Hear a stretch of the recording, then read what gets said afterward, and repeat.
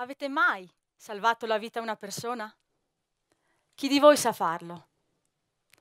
C'era una stanza all'ultimo piano della casa di mia nonna, in un paese di montagna non troppo distante da qui.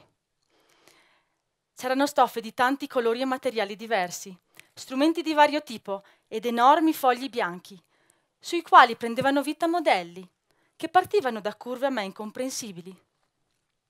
Era il laboratorio di mia mamma, una sarta, e io da bambina amavo andarci spesso, per osservare in silenzio come lei riuscisse a dare vita alle sue creazioni, dalla carta alla stoffa, misurando, tagliando, cucendo, provando, riprovando, ripetendo questi passi in maniera a volte non lineare, fino a quando il modello non calzava perfettamente sul fisico e sulla corporatura della persona per la quale questo era stato creato. Ecco, io oggi posso dire di fare lo stesso, solo che al posto della stoffa uso la matematica. Il mio ago e il mio filo sono un computer e i modelli li costruisco sui dati, che per quanto grezzi e imperfetti sono ricchi di informazione. Su che cosa? vi starete chiedendo. Su quelli che sono gli attori delle epidemie, ovvero un virus, le persone, alle volte un insetto, come ad esempio le zanzare, e l'ambiente in cui questi interagiscono tra di loro. Per lavoro e per passione studio le epidemie, usando modelli matematici e statistici che mi permettono di rispondere a domande del tipo con che velocità si sta diffondendo il virus, quanti infetti può causare questa epidemia e che impatto potrebbe avere un vaccino. E talvolta i modelli mi permettono di prevedere, ovvero anticipare quello che potrebbe succedere in futuro. Mi avreste creduto se, a metà gennaio, vi avessi detto che un nuovo coronavirus di origine animale avrebbe infettato più di 22 milioni di persone e avrebbe fatto quasi 800 mila morti. Sono sicura che nei mesi scorsi vi sarete chiesti almeno una volta quando finisce questa emergenza, quando torneremo alla normalità, alla nostra vita che vivevamo fino allo scorso gennaio. E se vivete in Italia o come me in Gran Bretagna, due paesi colpiti molto duramente dal Covid-19, o in altri paesi che sono riusciti a piegare la curva epidemica, probabilmente vi starete anche chiedendo, il peggio lo abbiamo alle spalle o ci sarà una seconda ondata?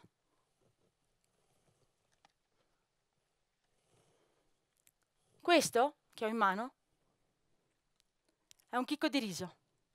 Immaginiamo che sia una persona infetta. Ogni persona infetta ne contagia altre tre il numero di infetti cresce di generazione in generazione seguendo una legge esponenziale. Se contiamo il numero di infetti in 10 generazioni, vediamo che questo numero sale da 1, poi 3, 9, 27, 81 e così via. Nel giro delle prime 5 generazioni passiamo da 1 a 243.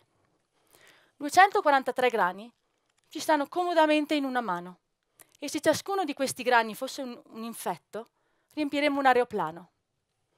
Nel giro delle seconde cinque generazioni, quindi nello stesso arco temporale nel quale siamo passati da 1 a 243, passiamo da 243 a più di 59.000, che sono tanti così.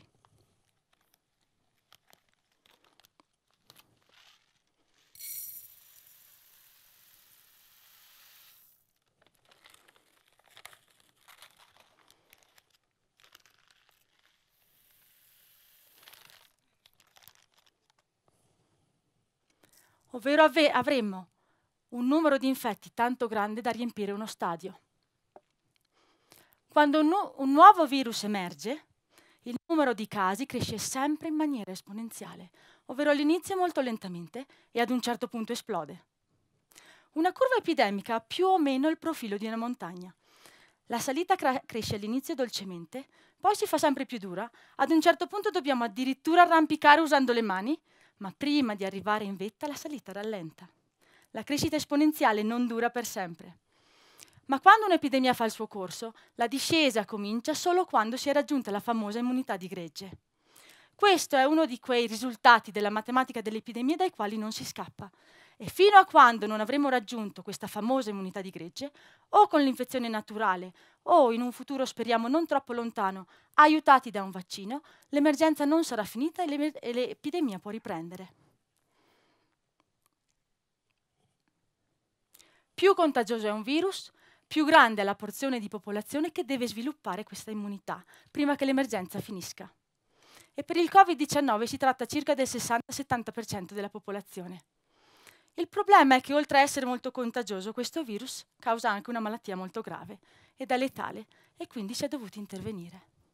E ad oggi si stima che nemmeno nelle parti più colpite d'Italia sia stata raggiunta questa immunità di gregge. In realtà se ne è ancora molto lontani. E quindi quasi paradossalmente siamo lontani dalla fine dell'emergenza, anche se siamo riusciti a frenare o a fermare l'epidemia. Perché di fatto il virus non è sparito. Cola ancora e lo fa con la stessa forza di sempre. Avremo dunque una seconda ondata? La risposta è dipende perché i modelli non sono una palla di cristallo.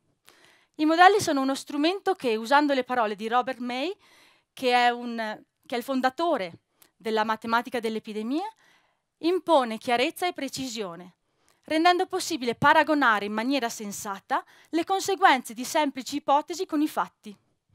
E i modelli permettono di esplorare scenari, che sono costruiti sulla base delle informazioni che abbiamo disponibili nel momento in cui facciamo l'analisi e sulla base di ipotesi. E una delle ipotesi più difficili da impostare e da prevedere è il comportamento umano, che varia nel tempo e nello spazio sulla base di moltissimi fattori, tra i quali le informazioni che possono essere scientifiche o meno, le regole sociali, le nostre abitudini e la politica. Ci siamo mai chiesti come evitare un singolo contagio può cambiare la traiettoria di un'epidemia? Torniamo per un secondo all'esempio della crescita esponenziale, ai nostri chicchi di riso. Spezzare un singolo anello nella catena di trasmissione alla prima generazione può ridurre il numero dei contagi del 30%, ovvero un singolo contagio evitato può risparmiare fino a 20.000 infezioni e salvare circa 200 vite, o anche di più perché in media ciascun infetto ne contagia altri tre, ma sappiamo bene che la media nasconde spesso divari. E infatti i dati ci dicono che un numero relativamente piccolo di eventi causa la maggior parte delle infezioni. Questi eventi, che si conoscono come fenomeni di superdiffusione, avvengono in luoghi di aggregazione, più frequentemente al chiuso, dove non si rispettano regole semplici e di base, come stare a casa ed isolarsi se si è malati e si hanno sintomi mantenere le distanze, indossare correttamente una mascherina e lavarsi spesso le mani. Ed è proprio qui che le scelte, le azioni individuali vengono ad amplificarsi, nel bene e nel male, e hanno il potere, il potenziale di andare a cambiare la traiettoria di un'epidemia. I modelli ci dicono che l'emergenza coronavirus non è finita. Allo stesso tempo, i modelli e l'evidenza dei fatti ci dicono che l'epidemia può essere soppressa e una seconda ondata evitata. Ma se questo scenario si avvererà dipende fondamentalmente da noi. Stephen Fry, che è un famoso attore e scrittore britannico, disse un paio d'anni fa, il futuro è incerto, anche se dista solo un giorno. E il destino del mondo sarà determinato dalla strada che ciascuno di noi sceglie di percorrere oggi. Non è il virus che si diffonde, sono le persone, siamo noi che diffondiamo il virus. E in situazioni di emergenza l'unica cosa che possiamo fare è scegliere come reagire e come agire, consapevoli che ciascuno di noi ha un ruolo fondamentale e può davvero fare la differenza.